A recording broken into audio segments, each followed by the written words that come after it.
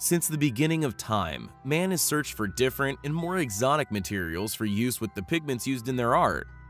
From simple cave paintings many tens of thousands of years ago to the perfection seen from masters during the Renaissance, none have ever been as interesting as our next artifact.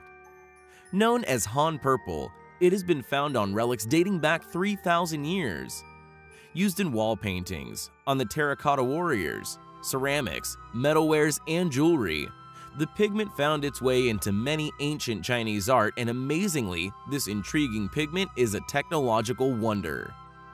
It was such an enigma made through such a complex process using many different materials in precise proportions, and then heating the mixtures to incredible temperatures. Researchers at the British Museum have discovered that when the pigment is exposed to an LED light source, Han purple pigment will emit a powerful ray of light in near infrared. According to their study, published in the journal Analytical and Bioanalytical Chemistry, the Han purple pigments show up with startling clarity when under the right conditions, meaning that even faint traces of the color which are invisible to the naked eye can be seen with infrared sensors. A complex pigment clearly developed for complex applications.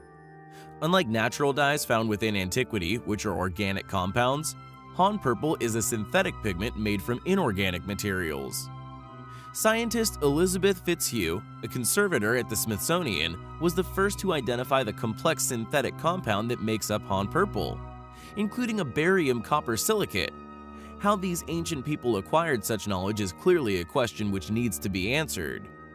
And although many people often scoff at ancient alien theories, quantum physicists from Stanford, Los Alamos National Laboratory, and the Institute for Solid State Physics of Tokyo have reported that when Han purple is exposed to extreme cold and a high magnetic field, the chemical structure of the pigment enters a new state called the quantum critical point, in which three-dimensional materials loses a dimension.